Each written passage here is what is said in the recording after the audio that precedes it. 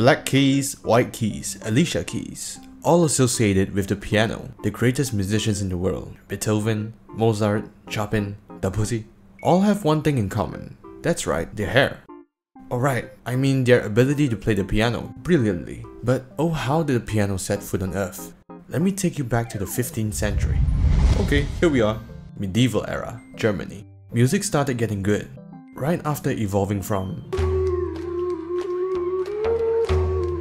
Musicians play mostly for royals or churches. One famous instrument used that came from before the piano was the clavichord, featuring a mechanism where small brass blades called tangents struck the strings directly when keys were pressed.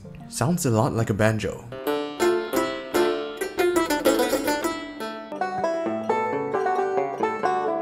During the Renaissance period, the clavichord started to gain popularity. Its expressive qualities made it suitable for performing intricate music of the time. But it had its cons. The clavichord just wasn't loud enough, so someone's gotta come up with something better.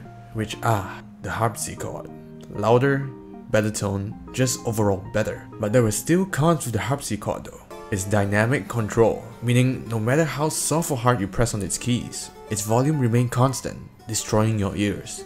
But both the clavichord and the harpsichord ended up coexisting though, where the clavichord was used for more intimate setting and the harpsichord was used for more larger venues.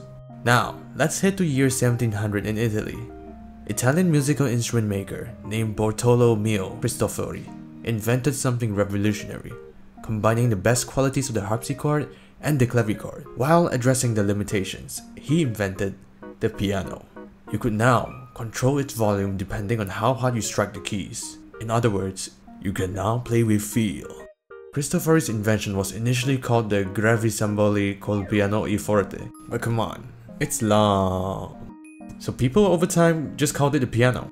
Very quickly, the piano gained its popularity. So by the classical and the romantic periods, composers such as Beethoven, Mozart, Chopin, and Debussy embraced the piano for its expressive capabilities, composing some of the most iconic pieces of music ever written. And it is all thanks to the humble beginnings of Cristofori's workshop in Florence and Cristofori, of course. Made it to the end? Wow, thanks for watching. Give us a thumbs up and watch the next one maybe. See ya!